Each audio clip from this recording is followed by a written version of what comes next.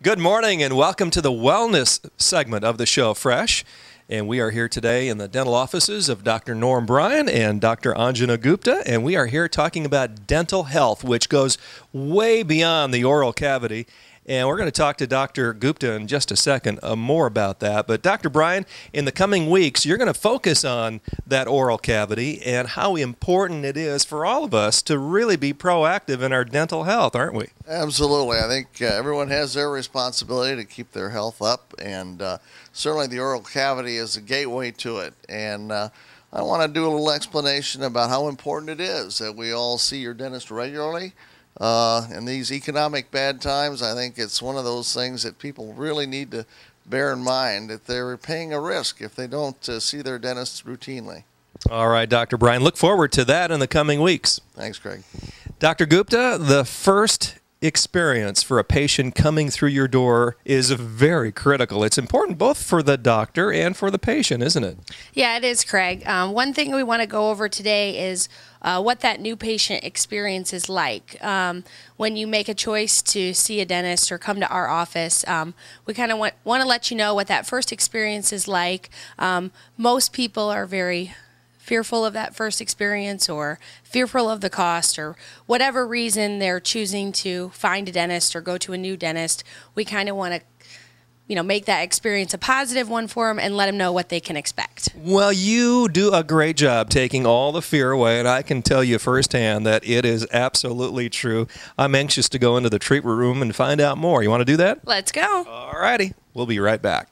And we are back in the treatment room here at the dental offices of Dr. Norman Bryan and Dr. Anjana Gupta. And Dr. Gupta, again, that first time experience for a new patient can be a little bit, uh, can be a little bit filled with anxiety, maybe, huh? But it doesn't have to be, and you're going to tell us why. Right. Um, one thing I think that people uh, fear the most or are most uncomfortable with when coming to a dentist for the first time is that fear of the unknown. Yep. You know, what mm-hmm. what are they going to find? What does it entail as far as procedures? What are the costs going to be? Um, so, one thing we want to make sure we do at our office, which I think kind of sets us apart, is uh, make that first experience a very comfortable one. Um, one thing that we do is we do a very comprehensive first exam. So, you're going to know hopefully you're going to need to know everything you need to know when you leave here that day.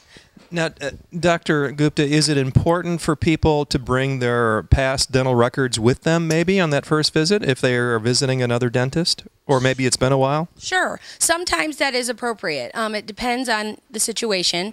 Um, if you've been to a previous dentist and have past x-rays that are considered current um, within the last couple years then yeah we always say bring what records you have access to and um, by all means if we can use those records we try to um, but on your first appointment, uh, usually what we try to do is have you see the doctor first. So you'll see either myself or Dr. Bryan um, for a good hour, maybe hour and a half um, meeting. Um, and that session involves um, collecting all of our records. So the first thing we'll do is take images or x-rays.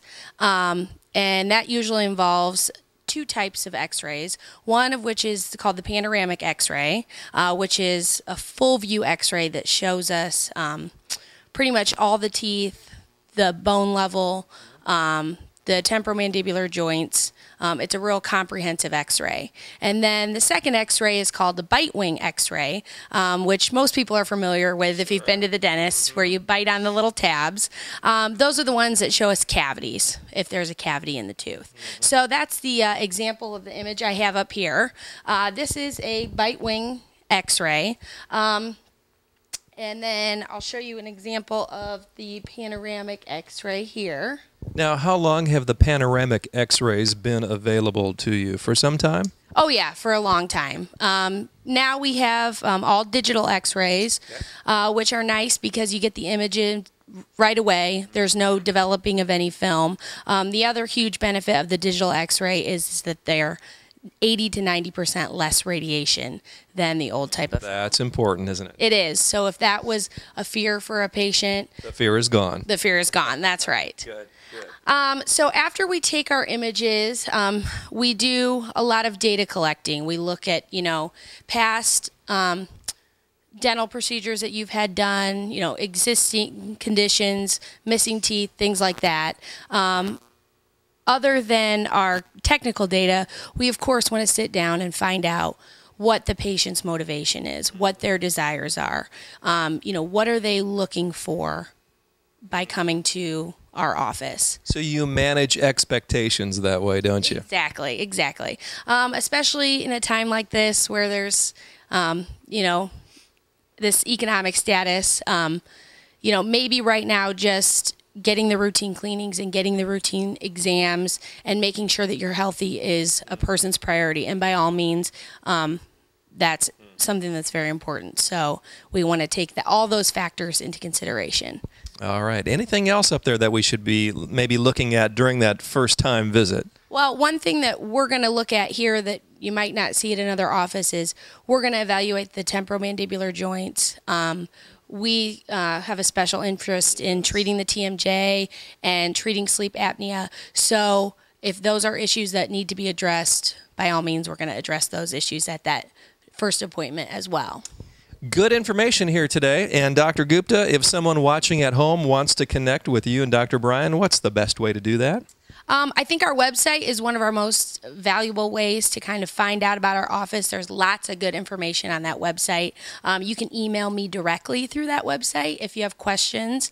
Uh, so that's a nice way to have one on one contact sure with the doctor. Is. That's high touch, isn't it? Yeah, it is. and you don't mind people doing that? Not at all. Not at all. Sometimes to get information, you want to go directly to the source and I think that's a great way to do it. And that website address for those at home? Is www.drbryan.com.